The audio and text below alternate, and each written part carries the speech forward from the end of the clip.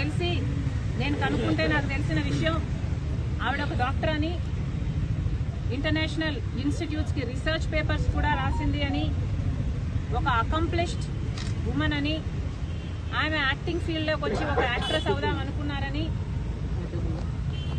నాకు అర్థమైన విషయం. అలాంటి ఆవిడ నన్ను ఎక్స్ప్లాయిట్ చేశారు అని ఒక కేసు పెట్టబోతే అది పెద్ద మనిషి సమాజంలో ఆర్థికంగా బాగా గట్టిగా స్ట్రాంగ్గా ఉన్నవాడు కాబట్టి తొక్కాలని చూశాడు అని నాకు అర్థమైంది. కానీ ఒకటి ఆలోచన చేయండి. నిజంగానే కాదంబరి అనే ఆవిడ రిసీవ్ చేయాలనుకుంటే నిజంగానే మోసం చేస్తునింది ఆయనను అనుకుంటే అన్ని డబ్బులున్నవాడు ఒక యాభై కోట్లు వంద కోట్లు ఆవిడకిచ్చి ఆవిడ నోరు మూపించి ఉండగలు గలడు. కానీ ఆవిడ ఏ ప్రెషర్కు లొంగకుండా నాకు న్యాయమే జరగాలి అని నిలబడిన దానికి ఎంత ఘోరంగా ఆవిడ్ని తొక్కాలని చూశారు. వాళ్ళ తల్లిని తండ్రిని వాళ్ళు కూడా చిన్నవాళ్ళు కాదు. తండ్రి ఏమో నేవీ ఆఫీసర్ అట తల్లేమో రిజర్వ్ బ్యాంక్లో మంచి పొజిషన్లో పనిచేసిన ఆవిడట.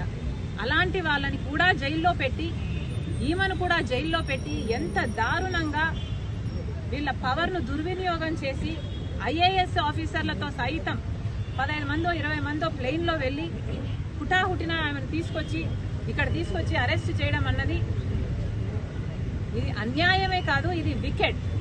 ఇది క్రూవల్. నన్నే గనక తనొచ్చి సాయం చేయమని కోరమంటే కొట్లాడమంటే తప్పకుండా కొట్లాడతాం అని మై పర్సనల్ కెపాసిటీ.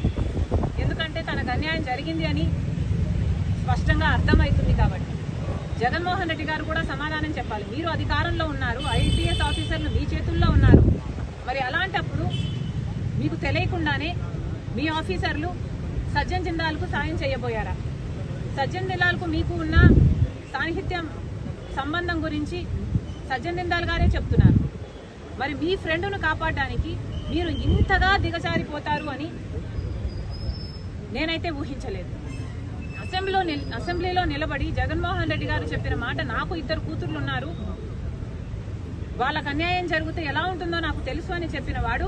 పక్కన ఇంకొక ఆడబిడ్డకు అన్యాయం జరుగుతుంటే తన హక్కుల కోసం కొట్లాడుతుంటే తప్పుడు కేసు పెట్టించి ఒక ఫోర్జరీ కేసు కోసం ఆలోచన చేయండి. ఎవరైనా ఒక ఫోర్జరీ కేసు కోసం పదహైదు మంది ఐపీఎస్ ఆఫీసర్లు అంతవరకు వెళ్ళి అరెస్ట్ చేసి తీసుకొస్తారా? ఇది దీని మీద ఎంక్వైరీ జరగాలి. జగన్మోహన్ రెడ్డి గారు కూడా సమాధానం చెప్పాలి. మేడం ఒక విషయం మేడం.